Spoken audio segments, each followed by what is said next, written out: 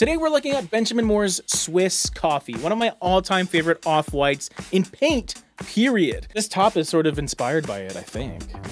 Kind of close real-time color matching. What's great about it is it's soft, warm, subtle, and just very versatile. I'm gonna tell you all the ways that I like to use it on my interior painting projects specifically, but also some exterior ones as well. And not only that, I've put together an all new color palette based around Swiss coffee. So you have three potential wall colors to go with it, and then two trim and door and woodwork colors too. That sounds like fun, right? Maybe you can just press that like button for me and then we can just get on with it.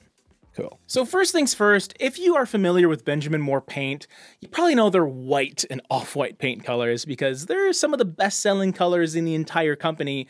Swiss Coffee is no exception. Super popular, it has been for a long time, but not to the point that people are sick of it. It has this wonderful sense of balance to it as an off-white. It doesn't have too much of a bright feel that can be obnoxious. It also doesn't have a ton of colorant where it'll just go into a different direction that you might not have been expecting. Its LRV is also in a great spot. So if you're new to the channel, welcome. LRV is something that I talk about all the time. It just stands for light reflectance value, which is the percentage of light, of actual light, that reflects off of any paint color. You can kind of think of it as a lightness scale. So from 0 to 100, 0 being black and then 100 being bright, bright, perfect white, Swiss Coffee is around an 82, like 81.91. And that may not sound super bright, like there's still like 18 points away from 100, but in the paint world, that is quite bright. It just has a subtle softness that makes it so pleasing to the eye. And Benjamin Moore does a great job describing it. They say it's an essential white with just the right amount of warmth.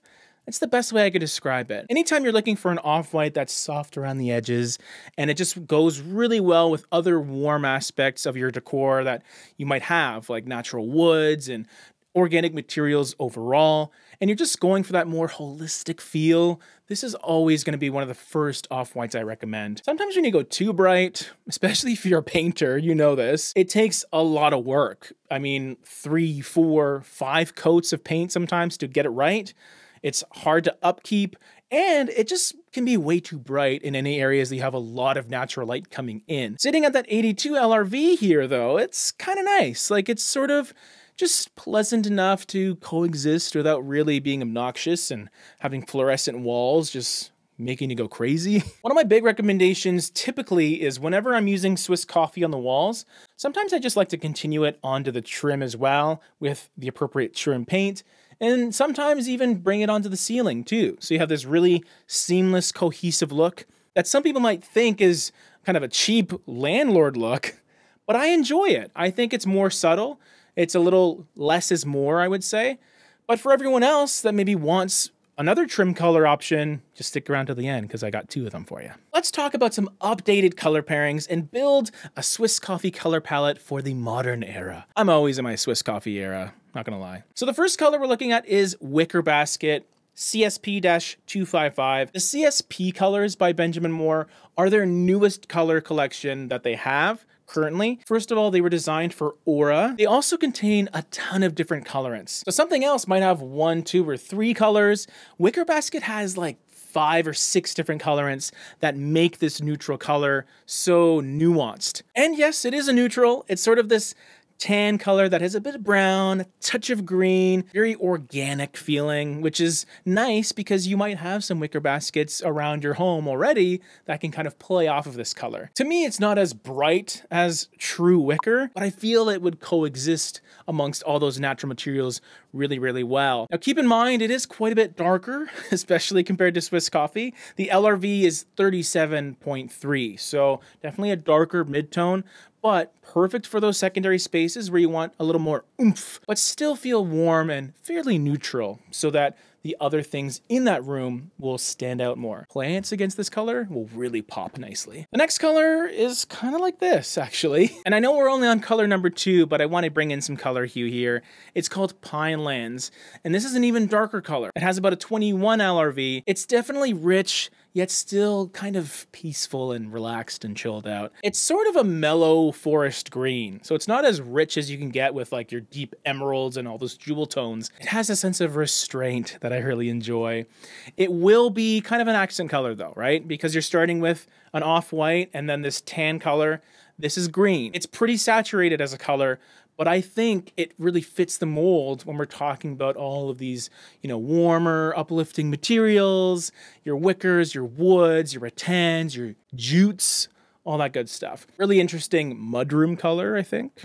You know, just a nice section off area that can give a really good first impression to anyone, I guess, coming through your garage, maybe. but it's more than that too. You can use it in dining rooms, more of a secondary tertiary color. The third color, however, is the accent, which is interesting because it's nearly as light as Swiss coffee. Not quite, but you'll see. Pampas grass.